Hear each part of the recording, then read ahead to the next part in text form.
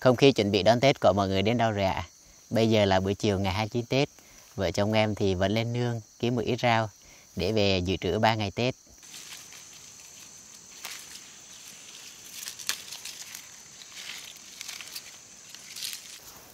Trước tiên vợ chồng em hái một ít rau cải, sau đó sẽ qua bên kia hái rau muống.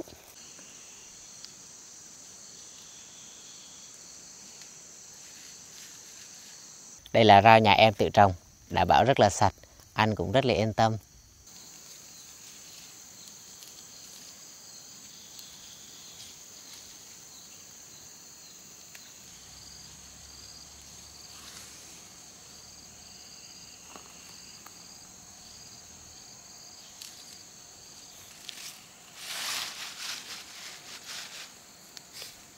Rau muống nhà em thì được trồng bên này. Bên này nó là đầm lầy, có nước nó rỉ à, từ lọc đất ra. Nương nhà em thì có trồng nghệ, trồng gừng, à, có trồng đậu và có trồng cả cây chuối nữa. Còn à, theo lời bố mẹ em kể đây là đầm lầy, đầm lầy của con voi. Ngày xưa nó rộng lắm, bây giờ thì trên em nó hết voi rồi. Cây cối nó mọc ông tùm đi đây. Đây là rau dại.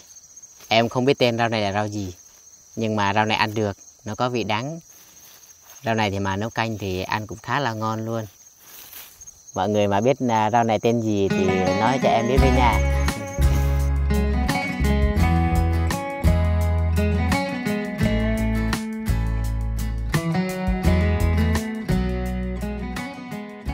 Đây là ớt xin, vợ chồng em sẽ hái một ít để đem về nhà ăn. Năm nay thì ớt nhà em ít. Chỉ đủ ăn không có ớt để bán. Ăn tết là phải có ớt xin thơm thơm cay cay, ăn mới ngon miệng được.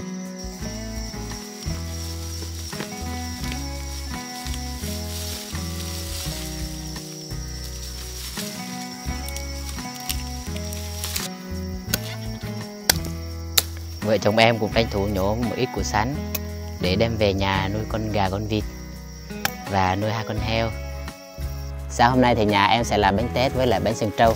Bánh sườn trâu thì nhà em sẽ dùng lá chít hay còn gọi là lá đốt đấy mọi người. Còn à, bánh tét thì nhà em sẽ dùng à, lá chuối. Đây là lá chuối hột rừng. Công việc đầu tiên là phải nướng lá trên lửa trước. Mọi người biết vì sao phải nướng lá trên lửa trước không? Làm như thế này để à, lá chuối sẽ bền hơn tránh việc à, rách lá khi đang gói bánh.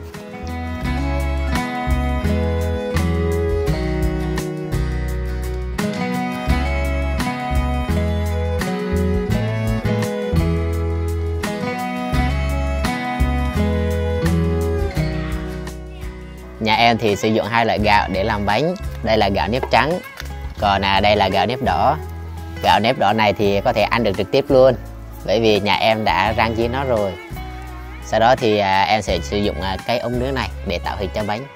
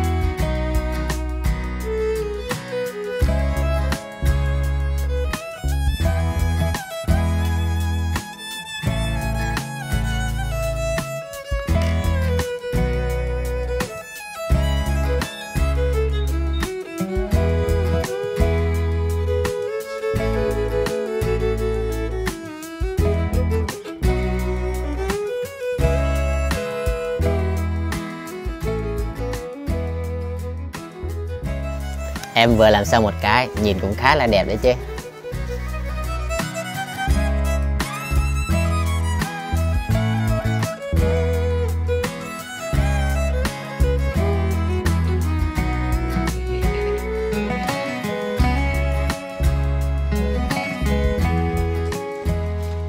Nhà em vừa làm xong mấy đòi bánh tét Lát nữa nhà em sẽ đem nấu luôn. Năm mới chúc mọi người dồi dào sức khỏe. Nghìn sự như ý, vạn sự như mơ. Triệu sự bất ngờ, tí lần hạnh phúc. Chúc, Chúc mừng năm mới